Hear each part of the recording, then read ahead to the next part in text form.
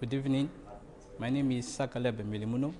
I am a master's student in the Department of International Protection of Human Rights. In our department here, we have a qualified lecturers which uh, both finished the PhD and some uh, professors, and uh, they have experience in the sphere of uh, human rights.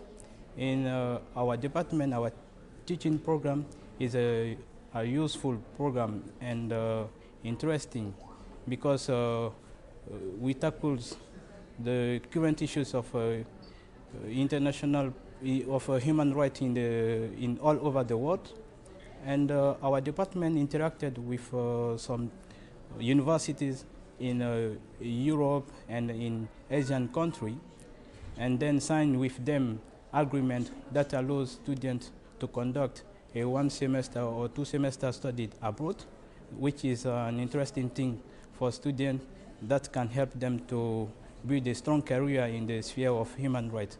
Then I encourage uh, incoming students to massively enroll in this department, which is uh, international protection of human rights, and then can help them to serve their country everywhere they are. They are. Thank you.